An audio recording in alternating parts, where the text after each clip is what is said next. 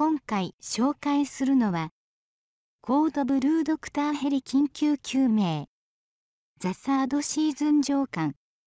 という本です。7年前フェローからそれぞれの道を歩み出した4人相沢は脳外科医白石と藤川はフライトドクター檜山は産婦人科医として活躍の場を広げていた。救命救急センターには新たに3人のフェローが加わり白石と藤川は彼らを指導する責務を負いながらタフな救命現場に向き合うという過酷な状況に追い込まれていた一方相沢はトロント大学へ派遣されるレジデント候補者として名前が挙がっていると聞き最前線の医療現場をリアルに描いたドラマのノベライズ医療器具やヘリの説明が書いてあってとてもわかりやすく読ませてもらいました。ただところどころですがドラマでキャストさんが言っていたセリフがないところがあります。あれ。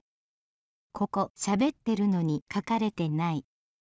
と思うことがありましたが個人的には気にしていないのでとても満足してます。録画やレンタルした DVD と合わせて読んでみると面白いと思いますよ。ドラマもノベライズもすごく良かったですが今期から脚本家が変更になったためかストーリーによって良い時と悪い時の差が激しいなと思いました。コードブルーが好きすぎて購入。3RD シーズンの1話から5話が収録されています。以上。興味のある方は実際の商品を Amazon などでご確認ください。今回は最後までお付き合いありがとうございました。よかったらチャンネル登録をお願いいたします。